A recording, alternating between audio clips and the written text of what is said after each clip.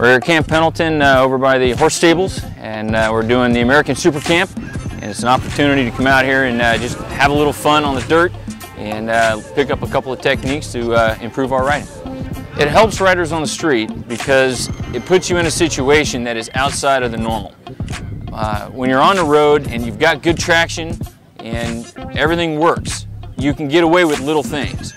When you start taking things away by putting a hand from your grip onto the tank, you can't make those big mistakes anymore. This was my first weekend on a motorcycle.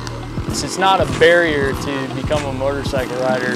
It's something to get you in the door and on the right, right pathway and track to, to be comfortable in what you're doing and not going through a discovery learning process where, where you're, you're learning with road rash and all that. You're just getting dirty and clothes that aren't even yours. You don't even have to wash them. About the point between steps two and three, your focus should be all the way to the next apex.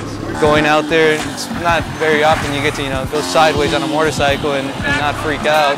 My riding experience started about a year ago. I'm on a Honda Shadow 2011 and pretty much just right came back from a deployment, decided that I had some extra cash with me, decided I wanted a motorcycle, so went out and bought one. I've been riding it ever since.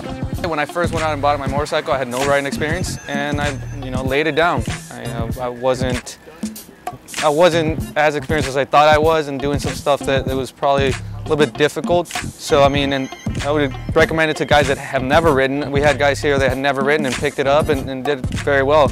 And that way, you know, you drop the motorcycle, it's a dirt bike, you can just pick it right back up and, and you know, wipe it off and, and, nothing happened. And on the street, it's different. The, the, the pavement doesn't forgive.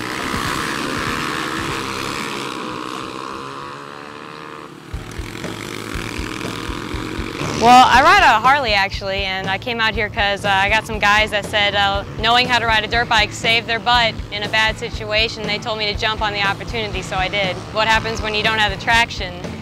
You don't know what to do, and then you crash that beautiful chrome, and it's a lot of money. So, so yeah, I learned a lot. I learned how to control it without the traction.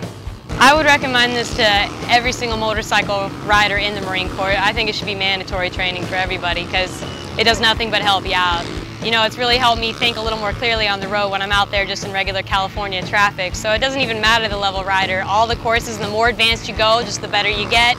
And then I can be a better mentor when I go back to my command and I have young riders that join up. Now I'm a better mentor to them because I can handle any situation that they get into and I can help them through it. From a command perspective, you need to be making yourself better, whether it's better at your job, better at your family, or better at your motorcycle skills.